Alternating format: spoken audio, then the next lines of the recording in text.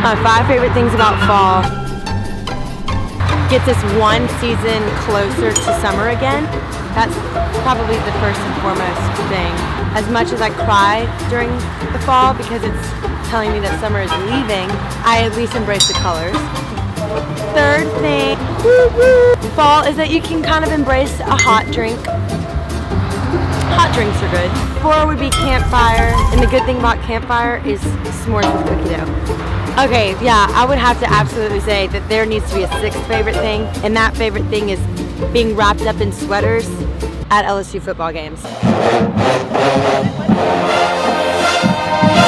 Hey guys, um, thank you for watching this video. Um, if you would, please subscribe to my channel. I would greatly appreciate it.